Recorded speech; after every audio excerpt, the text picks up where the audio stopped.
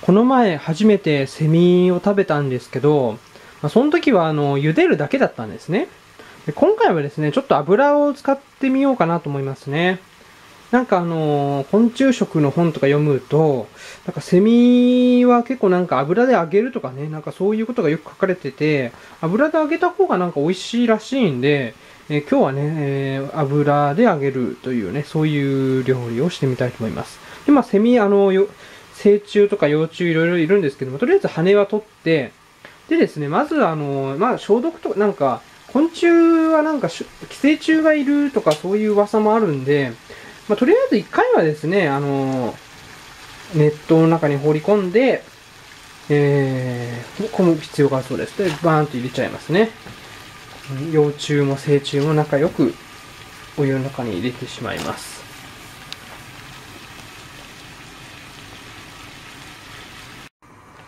これが茹でた状態ですね。茹でた状態のセミの幼虫と成虫です。今ちょっと油をね、加熱しております。えー、まあ、この色の薄いやつがね、幼虫なんですよね。で、色の濃い黒っぽいのが成虫ですね。あのー、前回はね、これ、この、こんな感じで醤油つけて食べたんですけど、今回はもう一工夫してみたいと思います。あのー、ちょっとね、油入れる前にですね、ちょっと水気を切っといた方がいいと思うんですよ。なんかさ、前、あのー、あのー、なんか水、水がついたままなんか油に入れて、まあ昆虫じゃないんですけど、なんか結構油が跳ねちゃったりとかいろいろあるんで、なるべくこう、えー、水は、水気を切っといた方がいいかなと思います。それからですね、あの、なんかさ、あの、本によると、なんかお腹が破裂する可能性があるんで、えー、なんかこう、爪楊枝かなんかでちょっとお腹にこう、プスンプスンという感じでですね、こうやってこう、あのー、穴を開けといた方がいいって聞いたんで、ちょって書いてあったんで、ちょっと穴もね、開けてみたいと思います。ちょっと成虫は硬いですけどね。ちょっとプツンプツンとね、こう穴を開けて破裂防止したいと思います。結構手間かかりますね、昆虫料理はね。そう考えると。そして、えー、とりあえずね、油もかね、あの、結構熱してきたんで大丈夫かなちょっと火読めようかな。なんか怖いんですよね、なんか油入れるのね。あの、ちょっとね、あの、油跳ねるとあれして怖いんですけど、まあちょっと入れてみたいと思います。まず幼虫入れます。入れます。ぽいおーおー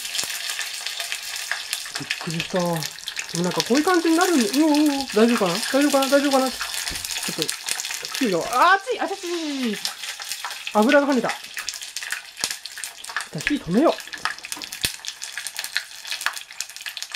怖い怖い怖い怖い怖い。こういうなるんですよね。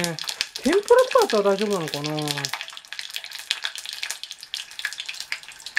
今、天ぷら、天ぷらも考えたんですけどね、今、卵ないんですよね。小麦粉あるんだけど、卵ないんで、ちょっと成虫も入れます。大丈夫かな？ああ、やべえやべえ。ちょっと待って、もう一回。ちょっと待って。はい、失敗しましたけど、もう一回入れます。これ、おーおーうわ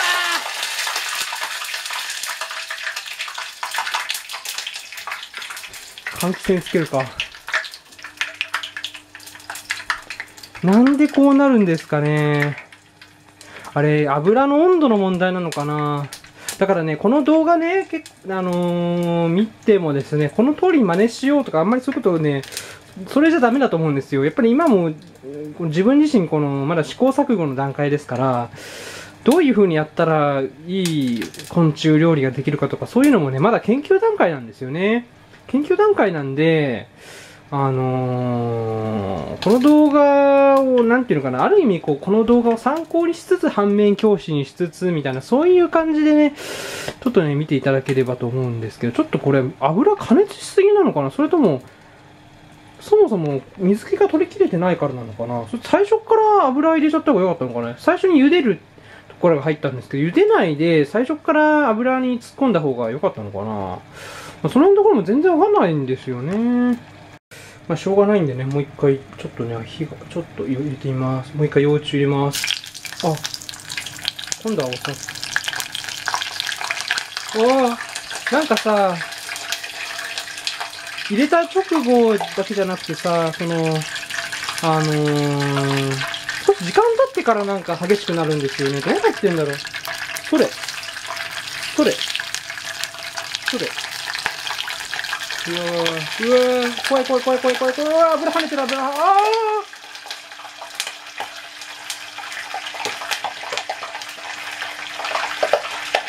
うわ、なにこれポンポンって言ってるよ。うわ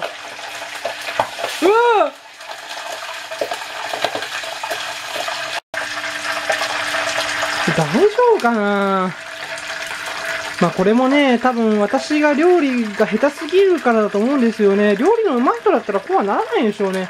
多分この油の、あの、火加減、まあ今火がついてないんですけど、この油の温度とかそういうのも結構、まあ分かる人にはね、分かる人だったらもうちょっとうまくやるんでしょうけどね。これ。えこれ。おお、変なとこ行っちゃった。これ。あれ？なんかもう反応しないな。ちょっと温度が足りなくなってきたか？怖い怖い。油怖いね。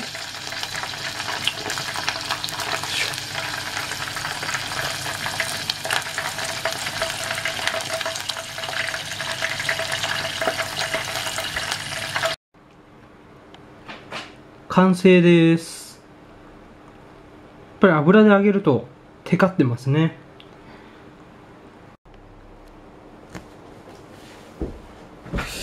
それではですね、えー、まあちょっと水を飲んでからなんですけど、うん。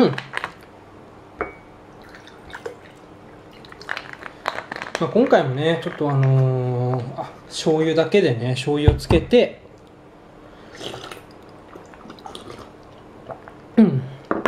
醤油だけでいただきたいと思います。まずは、幼虫からいきましょ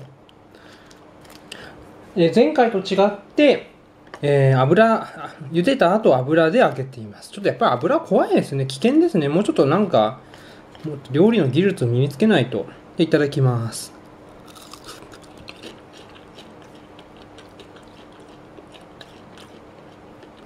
うん。やっぱり。やっぱり豆ですね。うん。油で揚げたところで別に特に食感が変化するってこともないですね。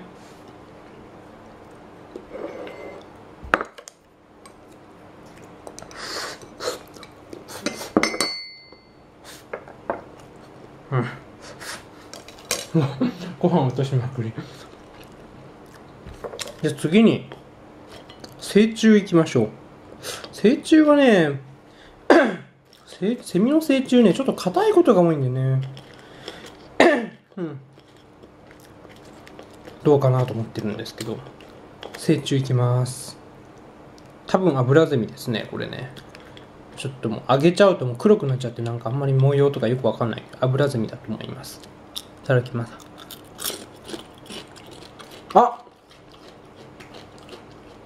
あのさ、あのー、成虫に限って言うと、油で揚げた方が食感がいいんですね。茹でただ、茹でただけだと、あのー、前回茹でて食べたじゃないですか。なんかね、茹でるだけだと、あのー、殻、殻っていうのかな？殻がね、口の中に残るっていうかね、なんか噛み切れないとこあるんですよ。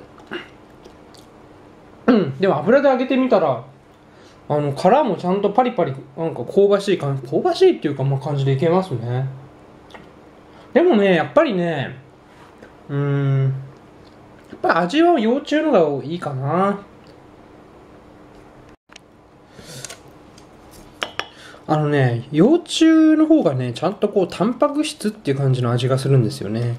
幼虫はね、こう、だからね、なんか本当に豆って、豆なんですよ。うん、茹でても、揚げても、豆なんですよ。うん。豆って感じの味なんですけど、うん。うんご飯にも合うしよ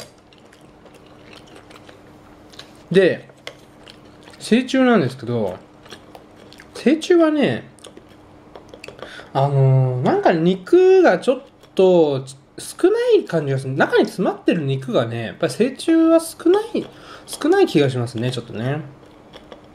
やっぱ殻が硬いっていう印象も強いんでやっぱりねこのセミを料理するときはですねあ幼虫は茹でただけでも大丈夫だと思うんですけど成虫は揚げた方がいいかもしれませんね。うん。なんか成虫はもうなんかパリパリとしたうん食感中心なんだよな。うん。まあでも美味しいですね。どっちにしてもね。まあ幼虫のはまあ美味しいかなでもな。うん。うん。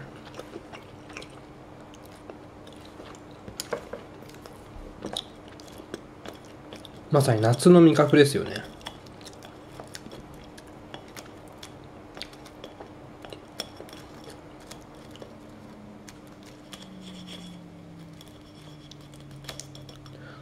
とね。うん。